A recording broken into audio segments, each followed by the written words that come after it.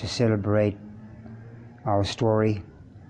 And thank you for the tool that uh, Stanley is providing, and thank you for his team.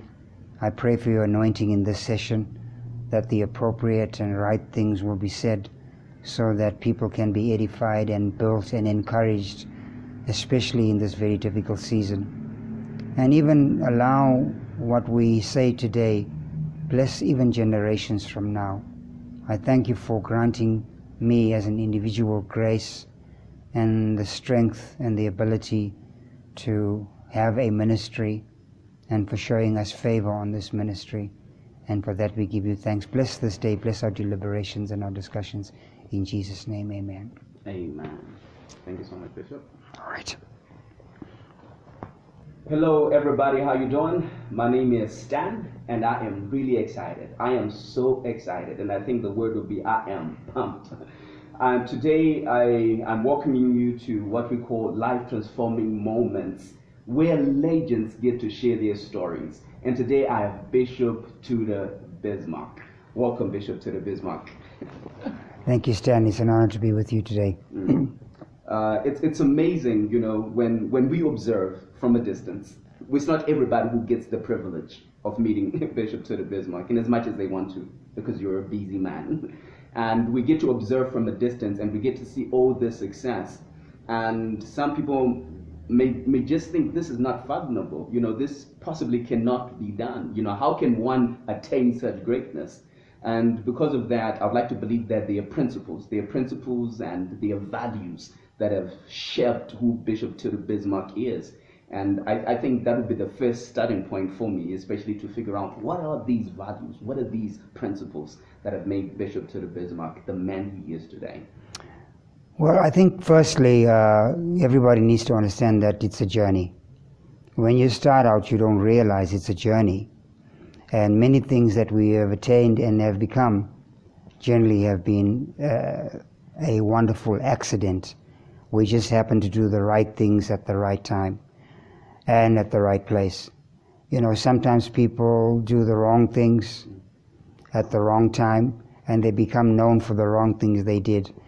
When we started, we were just kids, very few to no mentors. My dad wasn't really uh, a developed Christian, let alone minister, and I left home at a very young age. And many things we stumbled on were literally that, stumbling on things and God gave us good sense, and we did the right thing, not realizing it was the right thing. I think the important thing is to know that it's a process. Life is a process, and the stages in life uh, are markers. You know, from single years to married years, becoming a parent, uh, even education, uh, ministry, the various stages. All of that is a process. And so along the way, there are what I call the have to haves. What you have to have in ministry is number one, you have to have the spirit of excellence. You have to have integrity. And uh, I think more so in terms of what you have to have is an anointing and knowing how that anointing works. Uh, my prayer every day from when I was 12 years old is the prayer for wisdom you have to have wisdom. And so James said, if you lack it, ask God for it. Yeah. It's available. Mm. and so, even in terms of values, many of those things we generally stumble along. One of our values is, for example, education, family, kingdom. Those developed as the journey went. And uh, staying true to that uh, is is very essential. So one has to stay focused. And I think focus has become the, the central part of what we, uh, what we have become and the, the road in leading to what we have become. Wow.